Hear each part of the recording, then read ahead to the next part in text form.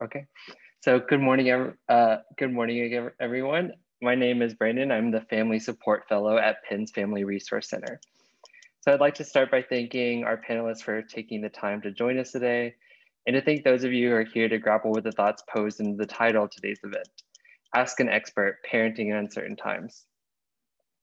So these uncertain times couldn't be more true now as we await to see the results of the election and wonder when will all of this end? Um, the US election is foregrounded, all the while COVID cases are increasing in many areas. Systemic racial injustices become more salient in various spheres of our society, and students at all levels must navigate virtual learning. All this at once is particularly overwhelming for families and raises many questions about how to best support our children and ourselves during these uncertain times.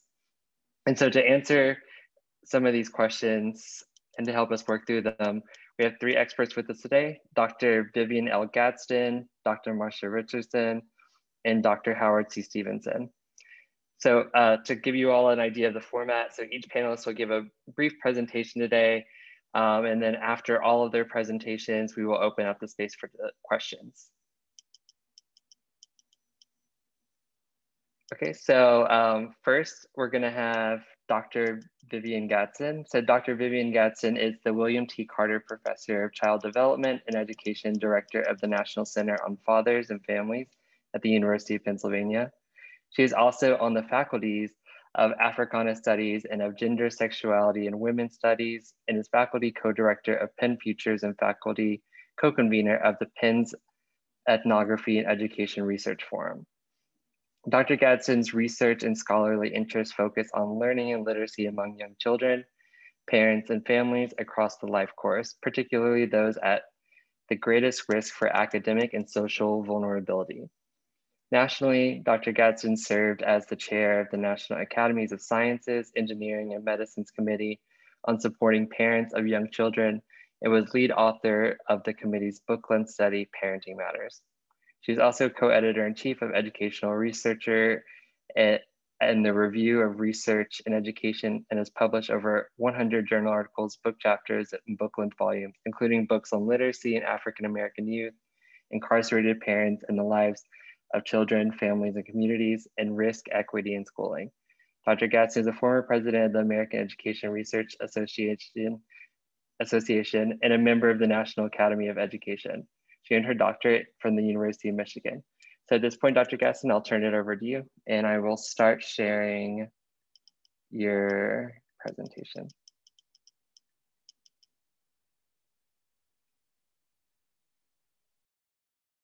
Dr. Gadsden, I don't think, I think you're muted. I was saying so many brilliant things. Um, Thank you, Brandon. That introduction um, probably covers everything I'm going to say today. Um, thank you for this invitation. And I want to thank the Family Resource Center for simply existing and, the, and for doing the work that you do. I've been at Penn um, for 30 years. I came with some people that many of you know, um, among them uh, Tukufu Zuberi and Herman Beavers. I think of us when um, we were much younger. We all came very, very young, I must, must say. Um, Howard came a, a, few years later, and it's my pleasure to work with both Howard and Marsha. So it's a it is a delight to be a part of this um, panel today. Um, my research and work in the field has really focused on learning and literacy and families. And particularly I'm focused on children and families exposed to educational and social vulnerability. And in this work, I focused on three broad swaths of work. The first is the reduction of risks that risks that are created by um, systemic racism and structural barriers. A second is the effort to address educational and social inequality that puts poor and racially minoritized children and families at risk. And a third has been to create as much as I can opportunity that can support the possibilities among African American children and families and other po marginalized populations. We can go to the next one. Um, this is, I've been involved in several projects, but just to give you a sense of the kinds of projects that I've done, and I'm happy to talk about these either today or at any point by email or on text or telephone. One is focused on early um, young children and families, um, in particular, um, looking at what happens in families over different generations and the ways in which factors that affect families end up kind of defining who they are and creating what I have called family cultures, which is a theoretical framework I did. Um, my earliest work in Philadelphia was in Head Start, working with um, Puerto Rican and Black families in North Philadelphia. Um, more recent project was one that I did with John Fantuzzo, focused on the uh, evidence-based program for the integration of curricula, combining looking at children's cognitive development and their social emotional development, working with teachers and families. A five generational study that I also did with families who moved from the rural South throughout the US. And a fourth one that focuses on fathers and families, uh, on all fathers and families, but in particular, um, low income fathers and families. And then Interestingly enough, a second body of work is really focused on children of incarcerated parents, fathers in particular. And this project was initially funded by the Department of Justice um, shortly after the Clinton administration. And we know that there were many issues around incarceration during the Clinton administration, but at the same time, there was this group of people who worked in that administration who were very focused on the effects of incarceration on children. And we are interviewing these, those children 10 years later, um, even as I speak. And then a community health and community literacies project that was at the Sayre Recreation Center. We had adults doing ethnographies of their own communities about the ways in which people kind of understand and take control of their health as well as their literacies. And then two projects that are, we're doing right now. One is a project focused on racial disproportionality in child welfare. Philadelphia has the highest um, rate of out of home placements um, of African American children in the country, and we're working with the Department of Human Services. And then a fifth project is one that I'm working with adolescents. I'm very proud of myself working with adolescents. Um, we have about 25 or 30 children who, um, youth, students um, who are um, doing community-based, culturally focused projects that are intended to support their communities. And this has been an extraordinary um, experience that I have had working with these students. And it reminds me of just how talented students are here in Philadelphia. And then if we can have the next slide, um, Brandon. So what have, what have we learned? You know, so much of what we learn is probably what people already thought, but at least we have some empirical evidence for some of it.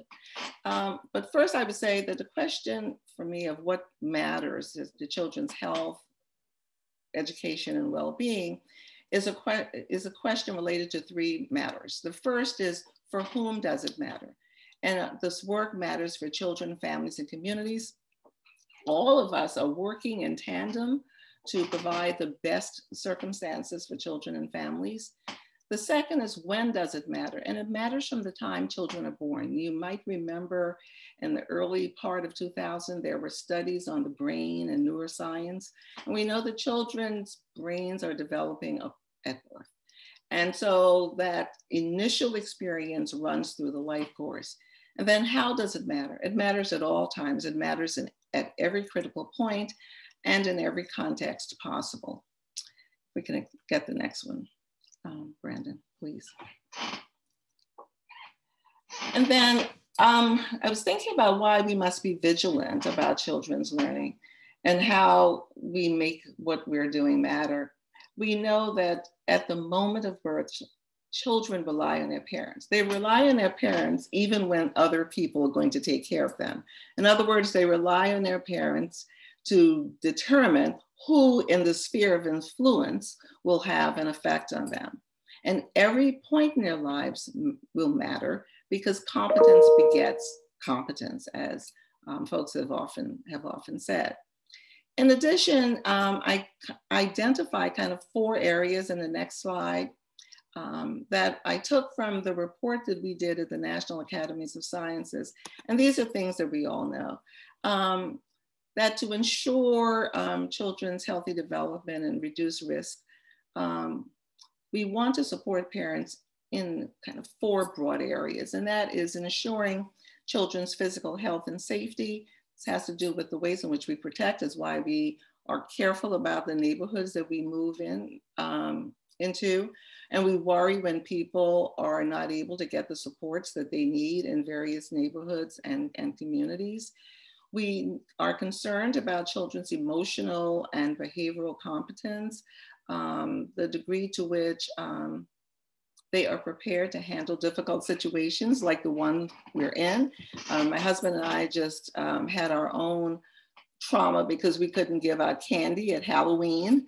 I think we were more upset than the children, but it's a stressful period in, in, in all dimensions of children's lives. And I think this is this pandemic as well as um, the social unrest um, have both uncovered so many problems um, that we took for granted um, or that we ignored, I should say.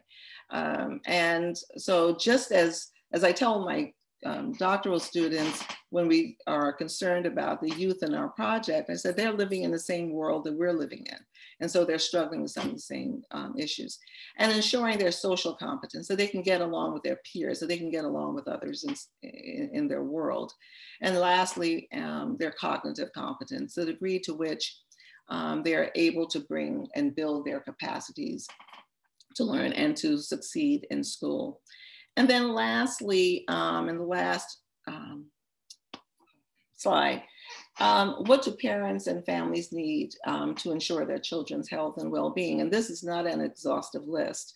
There are many other factors, but the first is their own commitment to their children's well-being and an opportunity to support them, to use the knowledge that they bring. Parents and families bring an enormous amount of knowledge and that combined with more formal knowledge will be successful. I do not know many parents who, have, who are not committed to their children, even if they don't have all the resources.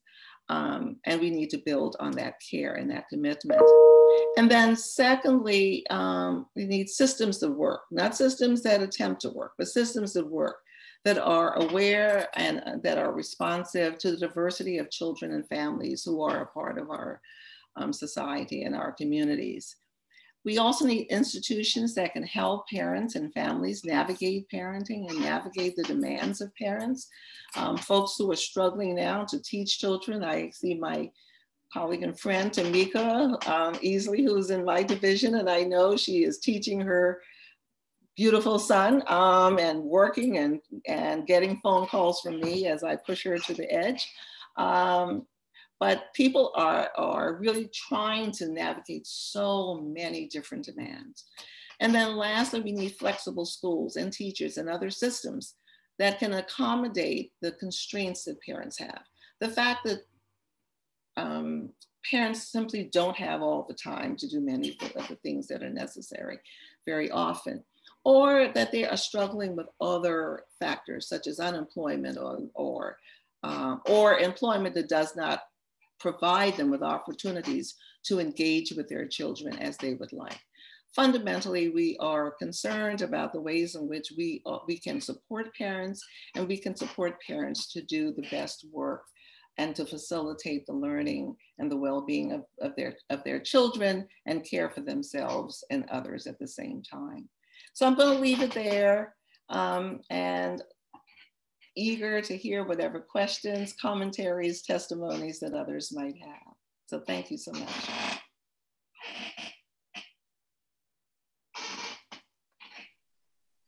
Uh, thank you for that, Dr. Gadsden. Um, so just a reminder for those who have just joined us, um, feel free to ask your questions into the chat, um, or you can just let us know if you would like for us to read it, or if you'd like to read it after all three of our panelists have um, spoken, and then we'll open it up to those questions. So next we'll have uh, Dr. Richardson speak. So Dr. Marsha Richardson is a senior lecturer in Penn GSE School and Mental Health Counseling Program, a clinical psychologist by training, and a profess professional program administrator. Her extensive professional experience as a practitioner includes providing clinical and managerial oversight of a school-based mental health program that specializes in the utilization of Nicholas Hobbs and the PEP model of care for behaviorally challenged children and adolescents. She maintains a small private practice and provides consultative services and professional development, effective communication, and program development to independent providers. Great, thank you. And thank you for the invitation.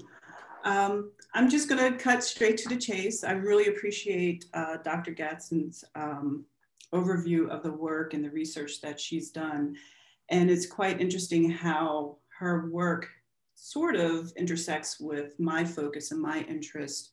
Um, I primarily right now teach in GSE's uh, Masters in Counseling's program where I am educating students to become um, licensed professional counselors, as well as school counselors. In addition to that, as um, was indicated, I also have a small private practice. And one of the scary statistics that I share about that work is 90% of my clients uh, to this day are educators, um, particularly educators in the Philadelphia School District.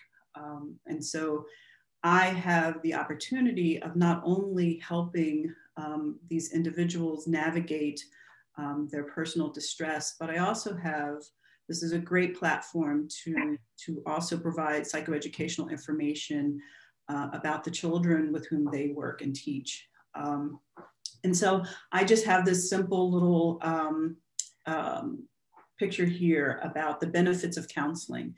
And I oftentimes share with um, the parents that I work with um, you know, the best way oftentimes to help your children is to get the help for yourself first. You know, that, that old saying where if you're on a plane and the oxygen dips, you know, put the mask on yourself before you help someone else. And I'm a real strong believer in that. Um, I see it in the teachers, I see it in the, the parents that I work with, you know, taking care of themselves um, is oftentimes the best way uh, to help their children. Um, some of the projects that I'm doing in addition to my private practice is I am a facilitator in an organization called Speak Up, which is a phenomenal um, small organization out in the suburbs of PA where they develop these small group conversations between educators, parents, and students. Um, and it's a, it's a great venue for students to share what's on their mind related to mental health issues, stress, drugs and alcohol, um, sex, you name it. Um, and it's a, it's a very nice uh, environment um, to share in a non-judgmental um, atmosphere. Um, I also do a lot of professional development training and workshops, uh, particularly for um, individuals who are preparing to become teachers. So for example, the Regional Noyce Scholars is a program that um, has several students from different universities here in the Philadelphia area and actually nationwide now. And I perform or provide uh, workshops on trauma-informed pedagogy, you know, how to um, assess and how to incorporate the knowledge that many of the children that are in the classrooms have significant histories of trauma. Um, and then the impact that that has on the the ability of teachers to teach and to connect with students, and also recognize that teachers themselves um, may have their own personal experience. And within the organization, you know, several of the districts where our teachers are going um, are also traumatized organizations. So understanding that ecological um, perspective on the work that they do. Um, I also have the pleasure of working with Dr. Howard Stevenson um, and his organization Lion Story that provides racial literacy to um, educators, um, businesses, um, organizations, community organizations, and so forth. And so the intersection of all of this as it relates to um, this picture I have here, again, evolves around self-care. The benefits of counseling is, you know, you don't necessarily have to have major issues that you're experiencing. Um, but these are diff- this is an opportunity and a venue to to share with someone, whether it's individually or within a group, um, to look at such things as mental health related concerns, uh, relationship concerns, whether it's intrapersonal or um, in your own you know professional endeavors ways of relieving um, stress, you know, managing it through mindfulness activities, yoga, um, breathing activities. Um, these are the types of things that are um, often underutilized. Uh, so for example, um, I have a teacher in my practice right now, and when she gets overwhelmed, she literally says that she forgets to breathe. Um, and it's not, you know, breathing to survive, it's breathing to thrive. And so sharing with her different techniques on how to do that in the moment, um, which then she can model even for her students. And so as Dr. Gadsden talked about ways in which um, systems can help students in all of the key areas such as social emotional, um, physical safety and so forth, um, the techniques and skills that teachers are learning in, in counseling, they can model that in their classroom. So it's like a trickle down effect. Um, so I'm just trying to figure out other ways to, um, you know, provide this information through a variety of systems in the work that I do, both at GSE um, and in my private practice. And so one of the, um, you know, lasting comments for you all is, you know, it's really important to focus on self-care. Um, you know, again, can't be much of a great help if you yourself are physically or emotionally compromised um, because it, it, does take a lot of work, especially navigating um, all of the different things that are happening in our world around us. So thank you.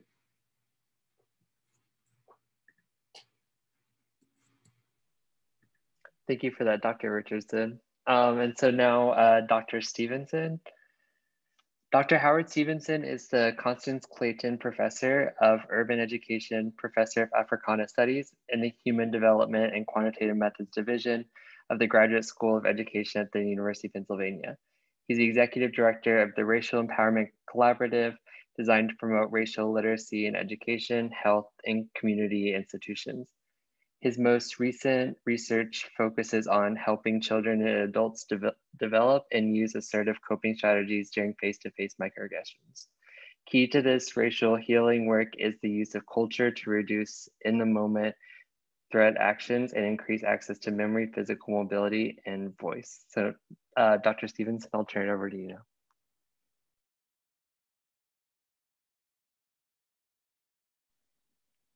Oh, Dr. Stevenson, I think you're muted.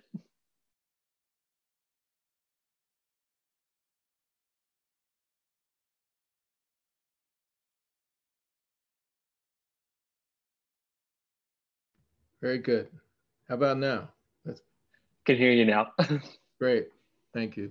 Thank you, Brandon, um, for the intro. And it's a it's a delight to be presenting with my colleagues, Dr. Gadsden and Dr. Richardson. And um, um, because I think, you know, our different works also blend together um, quite well.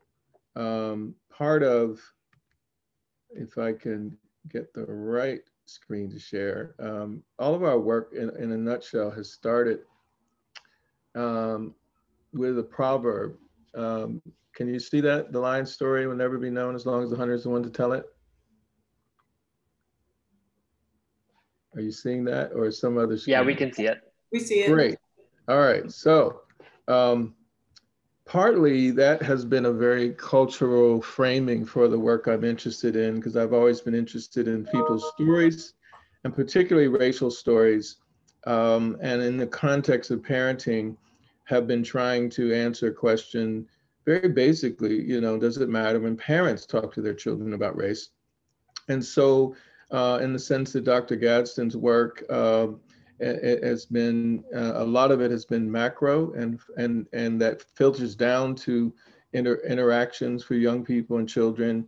Um, and as Dr. Richardson was describing uh, the benefits of counseling, uh, I've been trying to also um, be even more micro in the sense of uh, what happens in face-to-face -face encounters for young people. And um, you know, one particular the area that I've been most interested in is this notion of racial socialization. You know, the talk, as some people think of it. Um, do people give the talk, and if so, why and why not? Um, and when pa parents give the talk, uh, is it useful or helpful?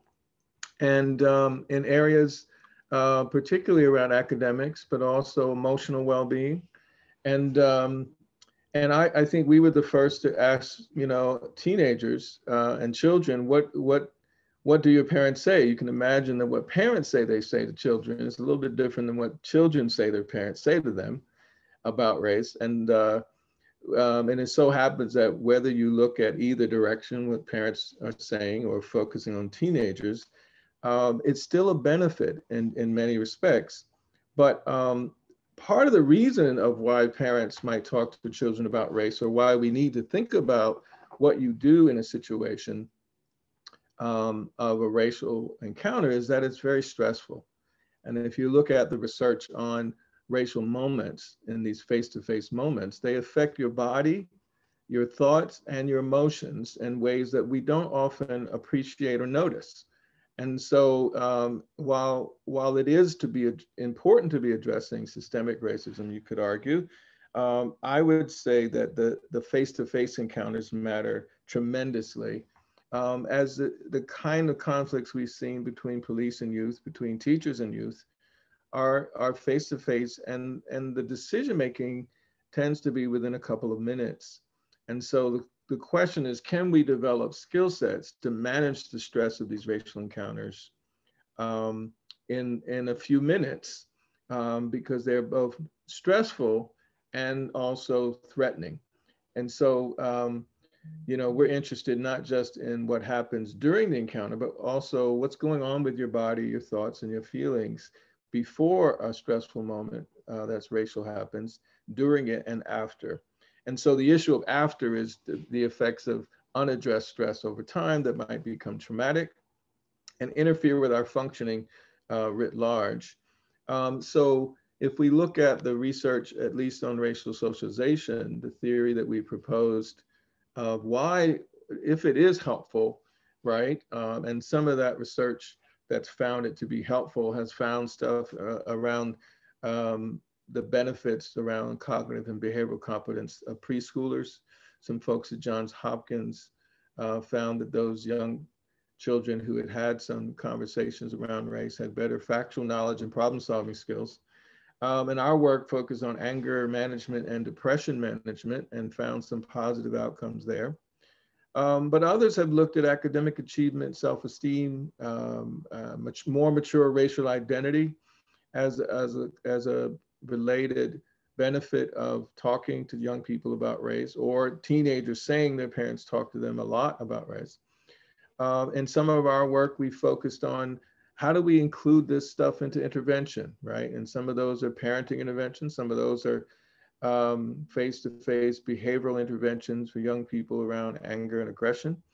Um, we've used basketball courts, martial arts, and and we've even uh, targeted Black male barbers in barbershops around uh, the city of Philadelphia with colleagues Dr. Loretta Jemmott and John Jemmott, and demonstrated that not only can Black barbers become fantastic counselors and he health educators in this particular case, but they have a style to them that actually is quite, I think, powerful. And um, we found some really positive results in that regard. So the notion that racial socialization is important um, was really early on in the last 30 years.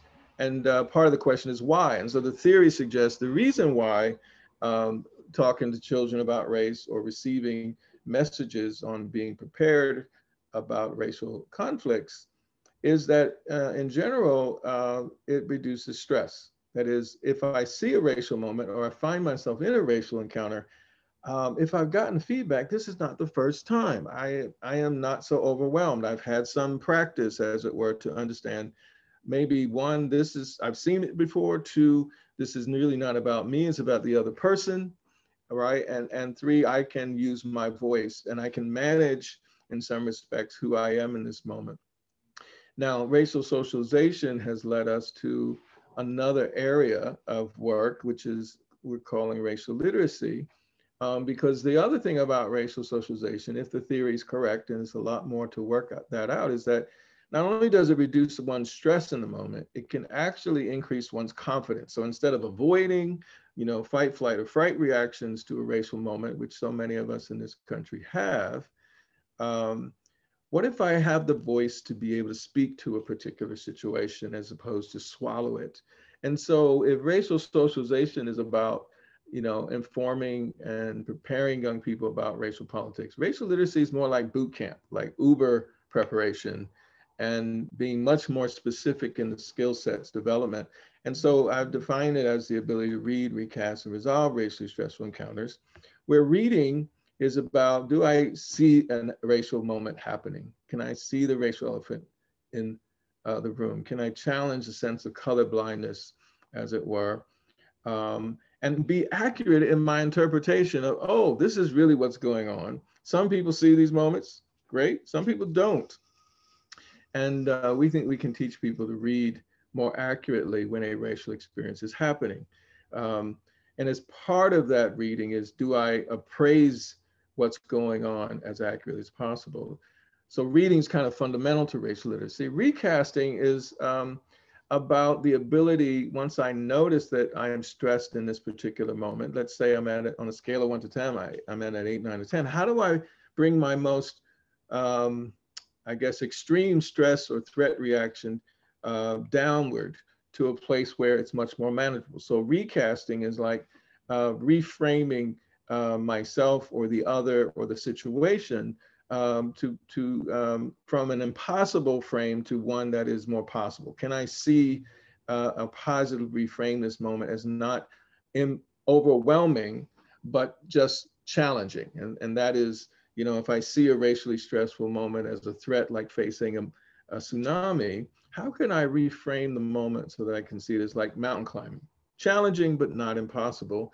And the strategy that we use to do that, uh, mindfulness approach, called CLCBE, stands for calculate, locate, communicate, breathe, and exhale, where we're trying to bring the best of, of the science around help, helping folks to notice what's happening in their bodies, the, their thoughts, and their feelings. So calculate is what feelings am I having? And um, how intense are they on a scale from one to 10? Locate is where in my body do I feel the stress? And the more specific I can be, the more I can manage it communicate is what self-talk uh, is going on and what images are coming to my mind, because that's a form of communication that we're having. Um, and self-talk is probably the hardest thing to track uh, without practice. And then breathing in four counts very slowly, say through your nose, and breathing out even slower through your mouth allows your brain and body to re-correct itself right? At, at an eight, nine, or 10, your brain goes on lockdown. You lose peripheral vision and hearing. And basically, if it's a crisis, you're more prepared to protect yourself. But if it's not a crisis, or you're distorting a racial encounter as if it is more dangerous than it really is, that's a problem. Um, and so breathing, exhaling helps that. And finally, resolving a racially stressful moment is about do I make a healthy uh, and just decision that matches my social justice values? So instead of underreacting, which is about minimizing what is effect it has on me when it really does have an effect on me. And overreacting is like cursing out everybody, including, including the uh, cat and the dog and the pet hamster, and they had nothing to do with the racial moment. The idea of resolving is, do I uh, make socially just decisions and actions that match my social justice values? So I'm gonna stop there and uh, Thank you very much.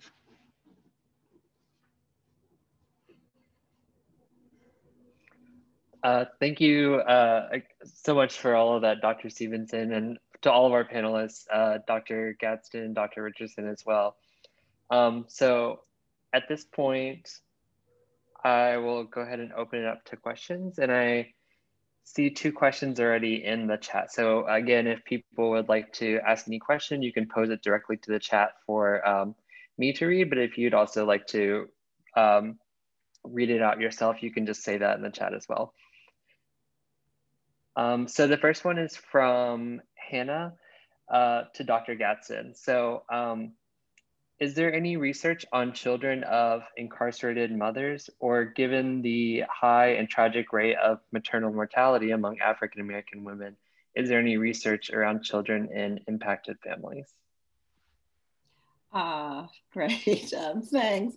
I think I responded to Hannah as well um, in the chat, but um, oh. I'm happy to kind of talk because that may be a question from other people. So um, yes, there is, and, and um, I have to say, I want to thank my wonderful doctoral student, Ori Olua, Olua Badaki, because she, I had a crude, a very crude document and she made it pretty um, for the presentation. She always comes through. Uh, so um, it actually should have been um, children of incarcerated parents because there is um, a smaller body of work on, on, on mothers, but I find it to be an even more compelling body of work because women have been um, the population, women and youth, young um, adolescents, have been the growing um, population in, in, in prisons. And, um, and it's been the work on mothers who are incarcerated um, has been wrought with I, I find it to be kind of um, judgments um, uh, in a way that the work that um, has focused on fathers um, has not. Um, but there are many programs. The Child Welfare League of America has done a lot of work um, with incarcerated mothers.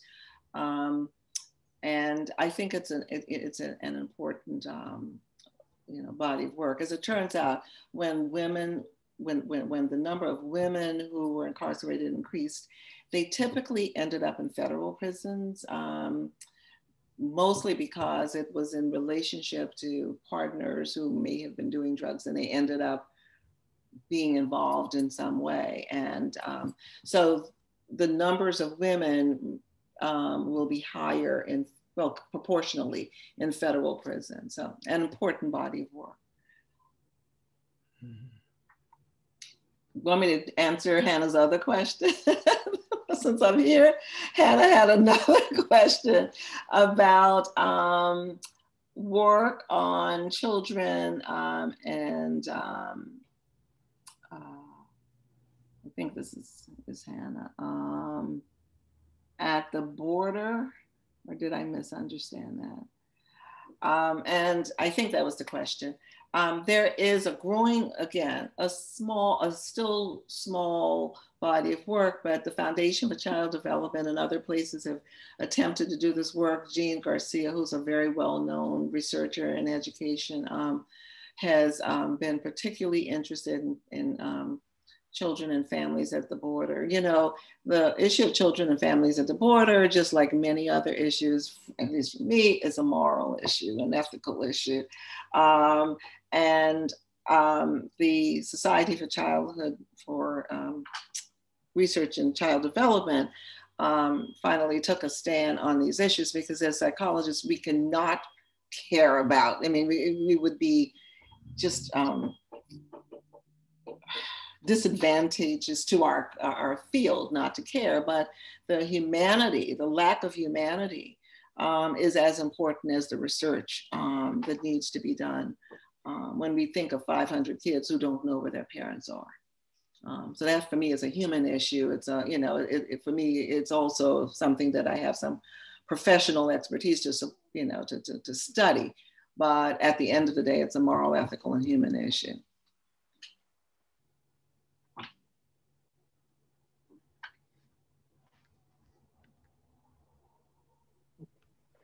Um, I also see a question for Dr. Stevenson.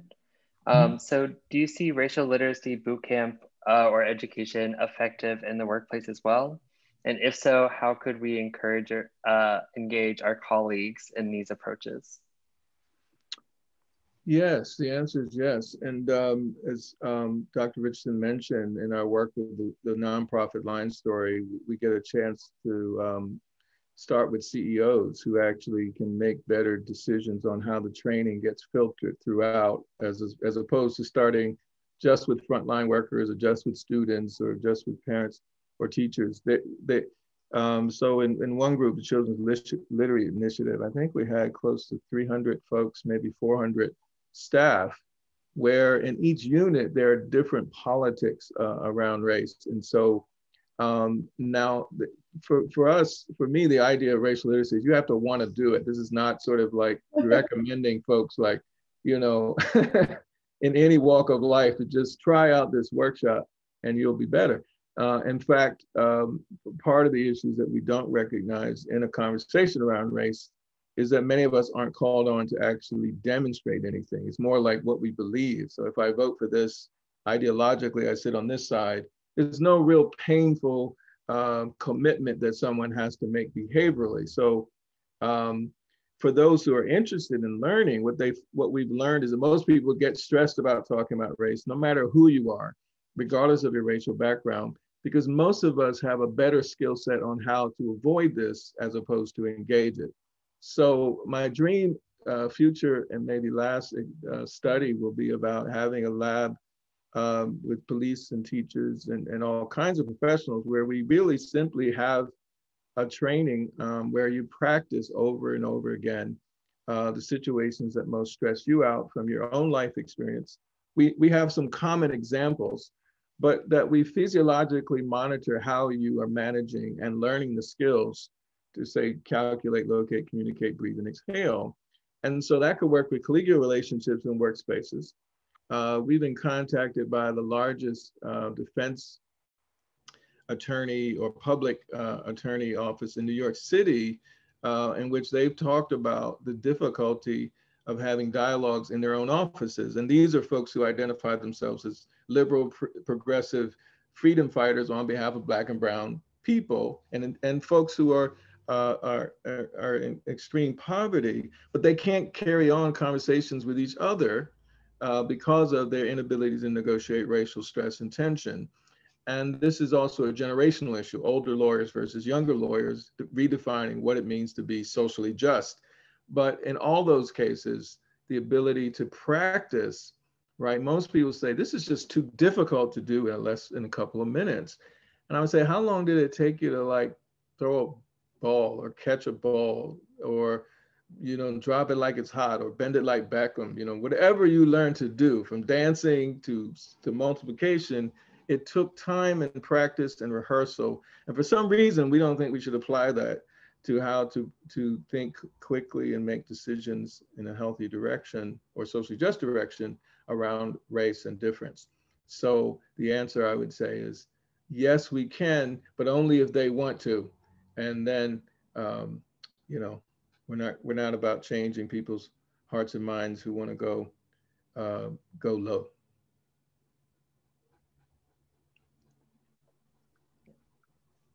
Um, and I see Dr. Uh, Richardson, you've put some chat and also some link into the chat for those of uh, for those who will be watching this recording later. Would you mind speaking a little bit to that?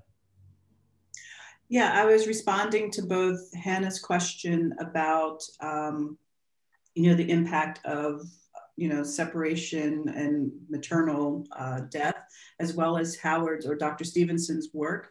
And so I put in the link, I mean, I put in the chat the Line Story link, which is the, um, the nonprofit that he referenced in his conversation, um, as well as just in general, there's a growing body of, of research related to attachment related issues um, that are, are, increasing amongst children who've um, been separated, especially at the border, um, as well as the impact of, of maternal mortality um, in children's parents. So there. Just my two cents. I just, can I say one thing, Brandon? Yeah, of course. Just um, to follow up with um, both um, Howard and Marsha. Um, in 2015, when we were in um, San Antonio preparing for ERA, one of the things that everyone was telling us, even then, was the ways in which these kids were being separated from their parents, particularly young children, and put in, you know, in various um, places um, and separated from their children. And of course, it mushroomed. It got to be the, the kind of cruelty attached to it has been, um, you know, it's clear um, in, mm-hmm. in the past, um, in the past two, two or three years what has been really interesting to me that goes um, that's really consistent with this discussion is the the absence of a focus on uh, on on that in this election. Very few people talked about it, um, and yet it came up in such a poignant way um, toward the end. Um, um it's as though you know we don't have the the attention span um, to to worry about these things that will affect disproportionate numbers of, um, of, of, children. So, you know, once again, it's, um, as Marsha said, you know, we have, we have research over, over decades and um, we have a lot of work going on, but here's where the, the, the, um, the um, incoherence exists between what we know and the ways in which policies are allowed to, to, to mm-hmm. move forward um, to, to in, that, that are threats to the well-being of, of children and parents. Vivian, it kind of reminds me a little bit of the work that you're doing. And, you know, I, I loved hearing, hearing about it because something that really resonated for me having um, been a director of a foster care agency, you know, tying into the to the conversation about attachment and separation.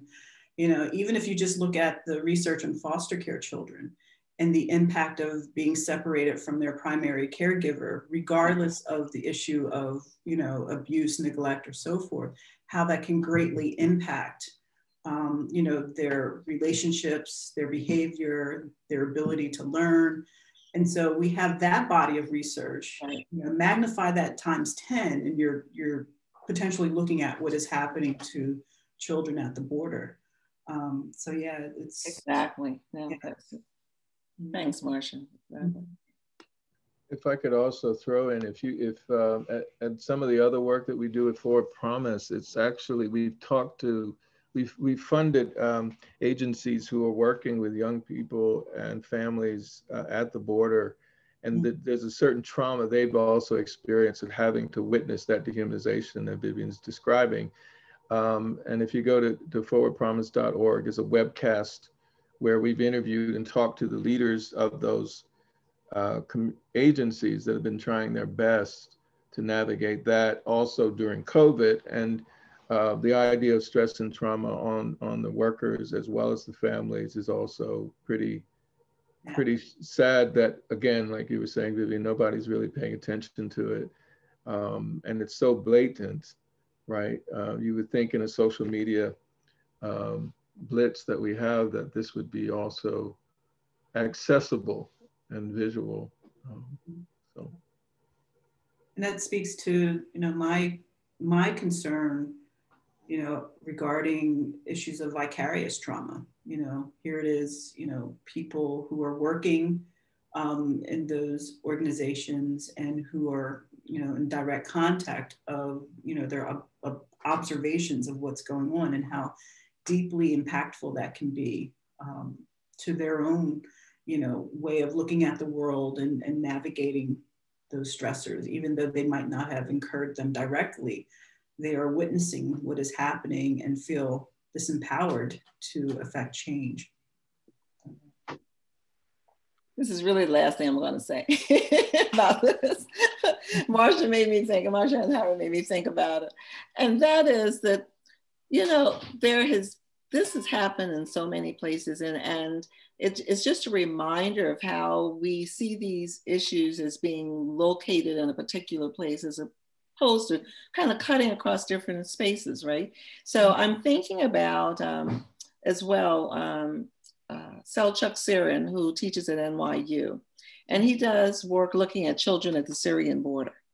I mean, he actually has been there. He's been collecting, you know, he talks to the kids as they are coming across, you know, the border. And the stories are all kind of similar. Mm-hmm. Um, and we see these uh, as um, um, site specific as opposed to the ways that children develop and the, the ways in which trauma affects you know families and mm-hmm. um, there's something to be appreciated from um, learning from from other contexts but where the problems are shared problems mm-hmm.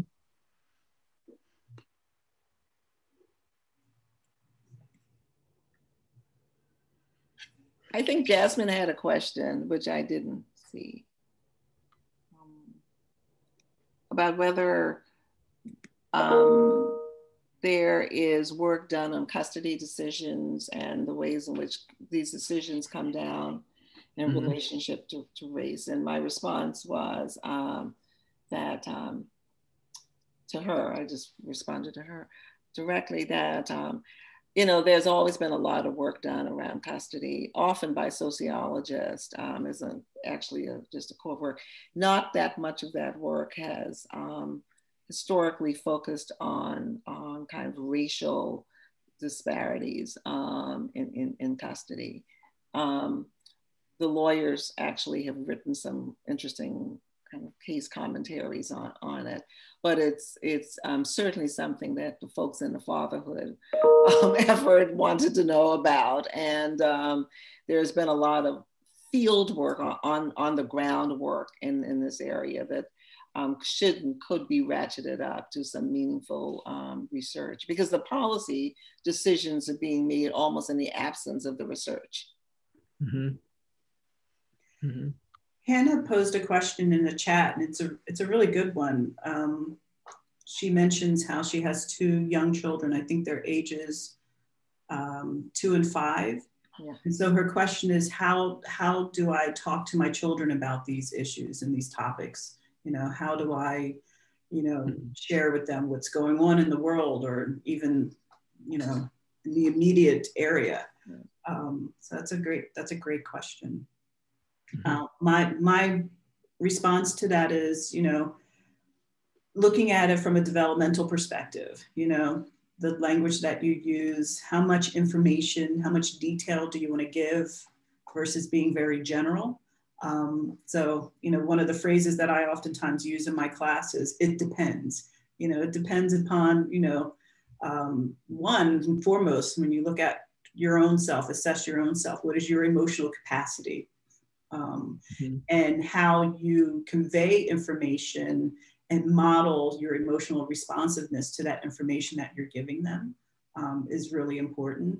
Um, but yeah, for children that young, I think very broad general strokes as opposed to, um, you know, specific related issues.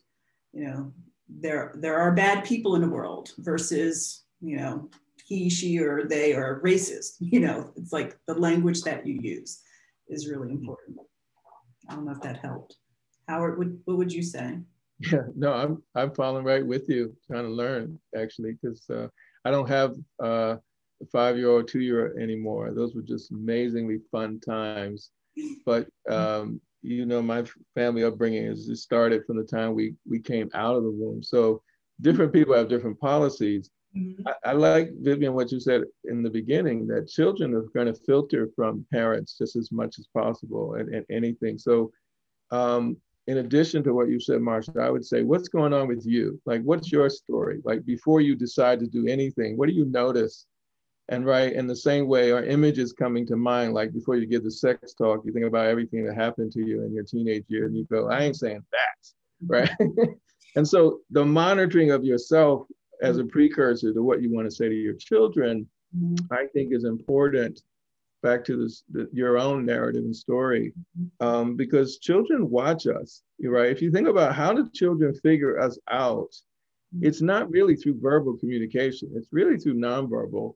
And that's very early. And so, um, as many families I've seen in therapy, I can always ask the children, either you know do you know when your mom or dad is stressed or do you know uh, your mom and dad's routine. And they are amazing. And the family the parents always like dang i didn't really realize that you knew exactly when i don't come home at a certain time what's happening or, or what you're worried about. And i think um, if we could get a better handle on who we are as we're trying to do this task we might open up the possibilities. Mm-hmm. Um, as a coach of, of three and four year olds in soccer, it's amazing what children will learn, um, but it's still mediated through our belief of what they can handle. Mm-hmm. And sometimes our fears intrude upon that. And so um, I'm amazed that some parents will, will have no problem talking to young children about good touch and bad touch. But somehow race is somehow uh, off limits because it's way too too uh, problematic. And um, so in talking to children, just finding out what they think about their parents' hesitance to talk about certain things is absolutely hilarious. Um, mm-hmm. So um, in the same vein of developmental approach, I would say, you know, what do you know about your fears? How much are you aware of your fears and how's that communicated? How do you think your children are picking that up as well? Yeah. Yeah. And I think too that the, the the most complicated kind of conversation to have with kids is about race. Um, you know, and as Howard talks about, you know, what were the messages that you were given growing up? You know, I remember as a, you know, child, a biracial child growing up in a predominantly all white neighborhood, it was never a topic of discussion. And so when I walked outside and saw this, you know, residue of a burnt cross on our lawn, it was my dad's, you know, brushing it aside that, oh yeah, it was a small brush fire. And, you know, I put it out and it was in the middle of the night. I didn't think, you know, that it was a racially motivated, you know, violent attack to our family until I was in my mid 20s. And so, you know, the conversations or the lack thereof around these kind of topics is, is really important. And how will that um, translate as your child gets older? You know, what would their level of comfort be? Um, in discussing these things. So we are our children's models, like Howard said.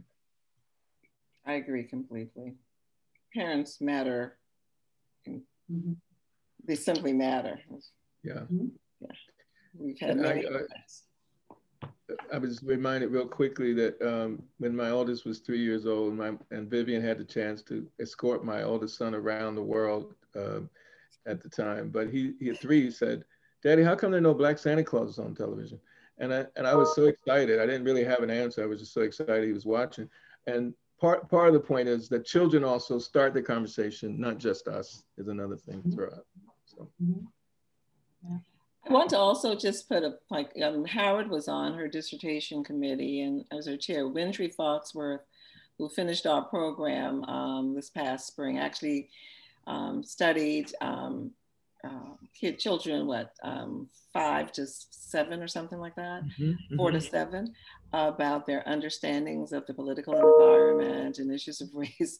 And what the kids said was pretty stunning. Um, so they are paying attention and they need a way to package it, to mediate it so that they could um, before. I mean, it was really um, very powerful and, and striking.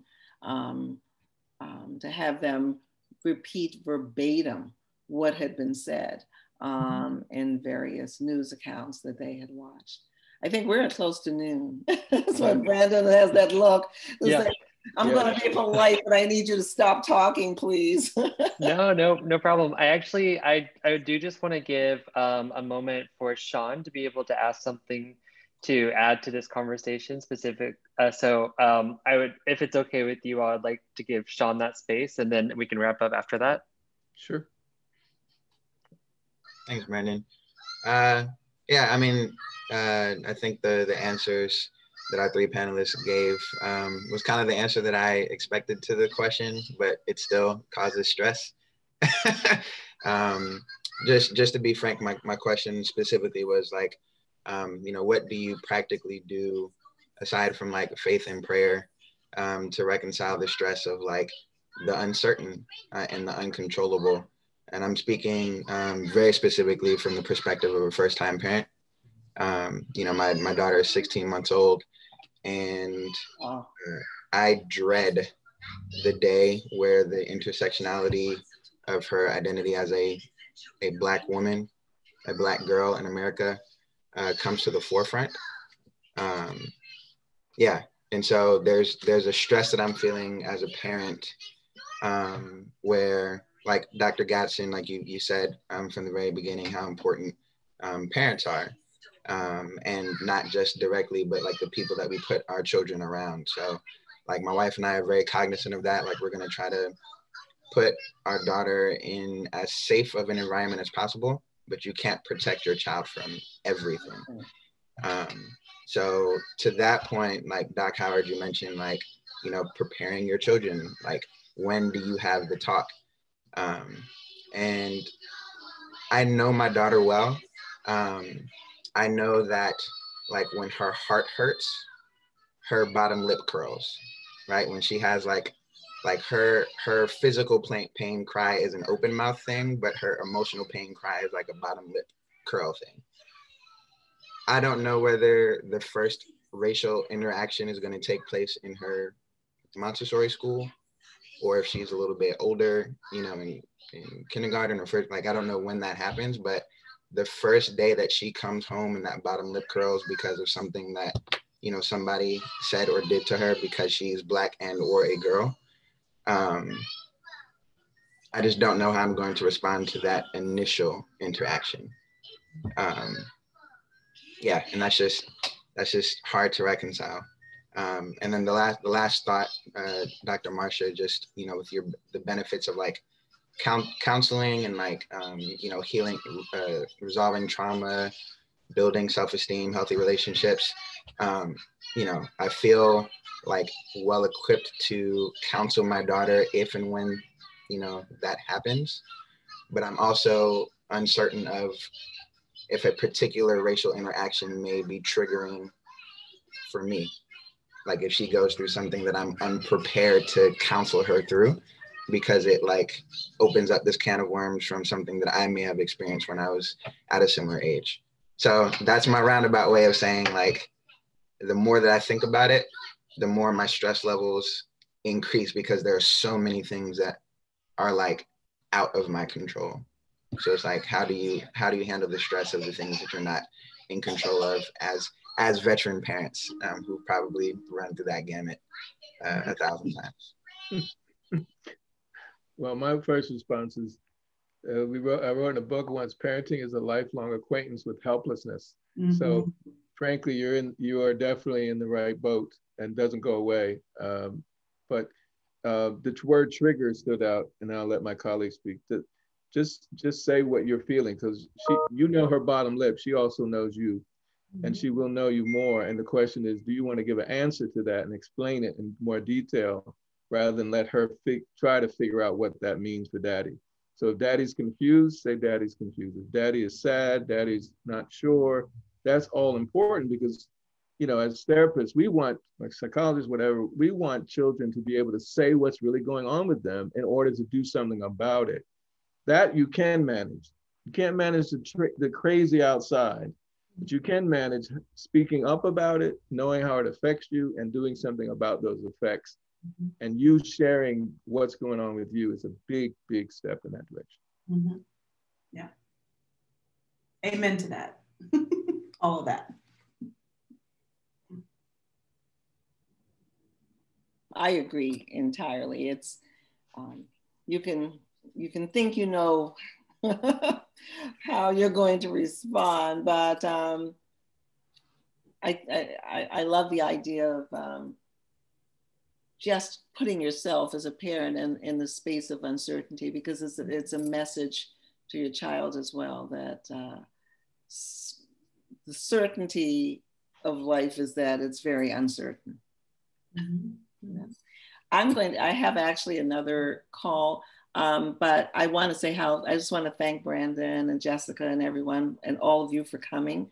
Um, I have an email, it's easy, Vivian G at UPenn. I'm sure Howard and Marsha share theirs as well. And I'm happy mm-hmm. to talk about these issues further. And, um, and I just hope that during these really difficult times um, um, that um, we can find a place of hope and peace mm-hmm. and that um, we can take care of ourselves and take care of the others whom we love. So I wish all of you well and um, yeah.